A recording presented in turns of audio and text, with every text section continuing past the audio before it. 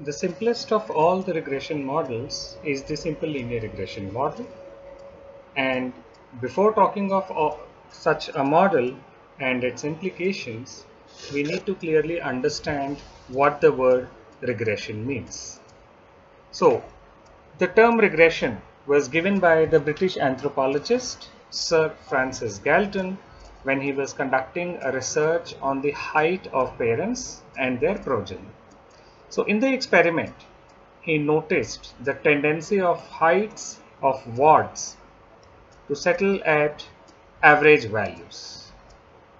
Hence, he termed regression as stepping back towards the average. Now, if we see the scatter plot, we note that there is a range of height of sons to corresponding to a specific height of father, which eventually settles down at the average values. The line connecting the line connecting these average values is what we call as the regression line. We notice that corresponding to every father's height there are multiple height of the children and so uh, and in a uh, overall we note that the height of a child whose father is tall will on the average be taller than the height of a child whose father is not so tall. So the regression line convinces us uh, on this argument. But what we note down is corresponding to every height there are multiple observations and these observations somehow tend to settle down around the average value. So it might happen that the taller father may have the son's height to be shorter than what his expectation would be. So the expectation of a tall father, let's say 70 inches tall, could be somewhere around here, but the height of the son settles down at the average value. But what we note is that this average value of a tall father will definitely be higher than this average value of perhaps a not so tall father. So the you know the, the classical definition was that the regression is uh, is uh, stepping back towards origin or stepping back towards the average values. However, the modern definition is different. So here we are not interested in the stability in the distribution of heights or in the distribution of the variables involved in the analysis. Rather, we are interested in finding out how the average height of son changes given the father's height. That is, predicting the son's height when the father's height is given to us. So we are trying to establish some kind of a cause and effect relationship. Because father's height is this much, son's height would have to be different. Now the following table gives uh, or highlights the differences between the two related but completely different terms, the correlation and the regression. Now, what is more important to note is that the regression identifies or looks for a cause and effect relationship between variables, while correlation just speaks about variables moving simultaneously, whether in the same direction or in the opposite direction without any reference. So correlation doesn't talk about what is the cause and what is effect. So what is the uh, what is causing another variable to exhibit certain tendencies.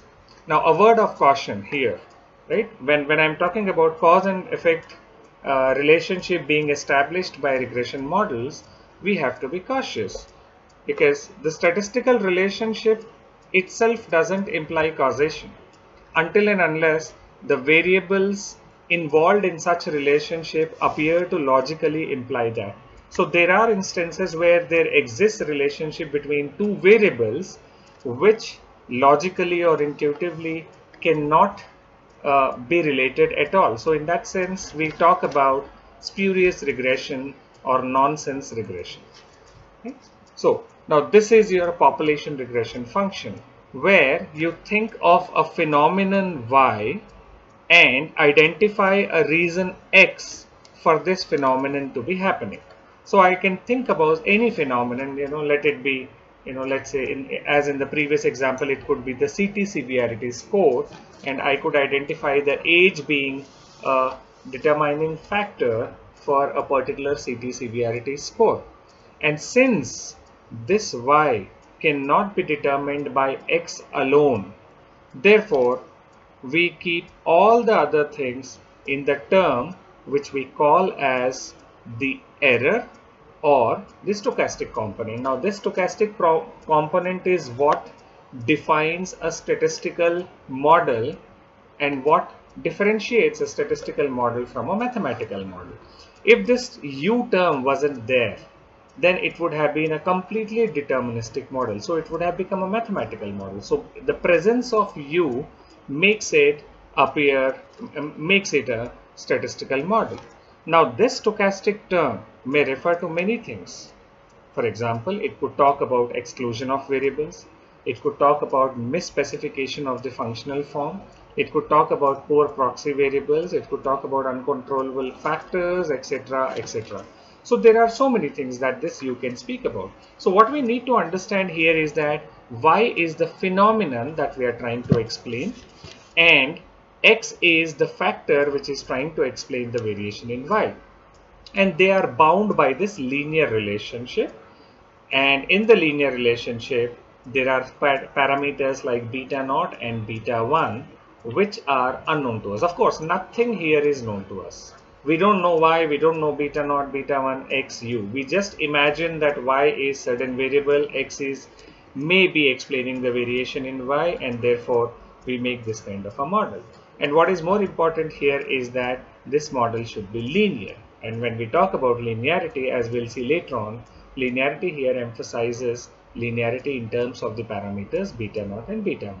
As an example, let's say we talk about, you know, uh, uh, a simple uh, a stick being measured by a, a, person at the cloth store to uh, to measure a one meter kind of cloth so let y be the difference between what that ad hoc stick measures and what a standard stick, standard device measures. So obviously there will be variation between what your standard device measures and, and what that ad hoc measure, ad hoc stick that this uh, store owner has is measuring. So I'm saying that there is difference and let y denote that kind of a difference. Now the question is what does this difference depend upon? If the difference is large then of course the cloth store owner is maybe fleecing you. If the differences are small then maybe you know that person is right, righteous enough to give you the actual uh, uh, measurement of cloth that you are actually buying. So what does this difference depend upon? So the difference may depend upon maybe the age of the person who is doing these measurements. Maybe uh, you know and, and uh, a very old person may be having some issues with measuring properly and therefore the measurements may not be right. So and x could be something else as well. So therefore x is something which identifies the which tries to relate to the changes in y. And there may be several other factors which can be now put in this error term. Now when we talk about the unpredictable nature of this error term, we are left with no option but to make reason uh, make assumptions on that unpredictable term. And when we talk about such assumptions the assumption should be reasonable enough to be uh, true most of the times. So these are the list of assumptions and uh, the comprehensive list of assumptions the first assumption is the model is linear in terms of parameters and when we talk about parameters we are talking about beta naught and beta 1 Secondly, we expect the random component u to be 0 over all the observations. We'll see this uh, in, in the next slide what these assumptions mean. The third assumption is the assumption of homoscedasticity or homogeneous variances. That means the variance of this u term is a constant. We denote this by let's say sigma square and the covariance between the errors is 0 the x values are fixed in repeated sampling. That means if we take different different samples, we assume the x values to be fixed. As in the case of this example, the x value here is the father's height. So 60 is fixed and we'll have multiple y values. So we assume that value of x is fixed over repeated observations. And then we'll have that the covariance between the error term and the x variable is 0 u follows a normal distribution. That's a reasonable assumption because we uh, since it's normal so obviously everything tends to be normal. Number of observations must be greater than number of parameters. Now that's the principle that we'll be using to estimate the parameters now when we are understanding the assumptions 2 and 3 so we the, the graph somehow illustrates such assumptions. So we know that corresponding to every xi there will be multiple y values. So this uh, highlighted dot is the mean value. We can notice that we can see that or uh, we can reasonably assume that the number of points below the mean value are more or less similar to the number of points above the mean value and if we sum up all these ui values it will eventually come out to be zero. The second assumption the third assumption that the variances are constant emanates from such a representation. So this was a two-dimensional plot. Here i have a three-dimensional plot. Uh, i have x on the x-axis y on the y-axis and the probability density of the error term on the z-axis. So we see that the shape of each of these normal curves corresponding to every xi and yi is similar. The height, the spread of this normal curve is similar and therefore we can assume that the variances are constant and also whenever we have a cross-sectional kind of a data the fourth assumption that errors of maybe one observation are uncorrelated with errors of the second observation a very reasonable assumption to make. So this is the sample regression function. What we need to note here is that everything is unknown. So we have y which can have almost infinite observations in this universe. We have x which again can have infinite observations. We have beta naught and beta 1 which uh, we are imagining to be binding these variables y and x and there are there is a random component u which accounts for all the un unaccounted terms. So everything is unknown. So we evolve some kind of a procedure to estimate things which are known to us uh, uh, by which these unknown things may be made known to us. So that estimation procedure we'll talk about subsequently but the the gist is that whenever we have a population which comprises of things which are unknown and to obtain an estima, estimate or the idea of those unknown terms what we do is we collect we select a sample. And this sample is different for different people who are conducting these analysis. So let's say i select a sample and on the base of that sample i obtain observations on y and x. Let's say i obtain n observations on y and x. So using these n observations and some criterion some procedure I estimate, I obtain B0 and B1. So B0 and B1 are nothing but supposedly the estimates of the regression coefficients beta naught and beta 1. So these beta naught and beta 1 were unknown to me and therefore this provides the estimates of the regression coefficients beta naught and beta 1. And similarly E provides the estimate of the unknown error term U.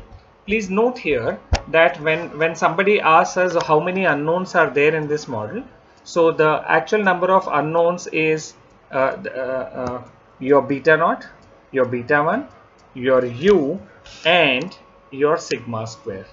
This is also unknown to us.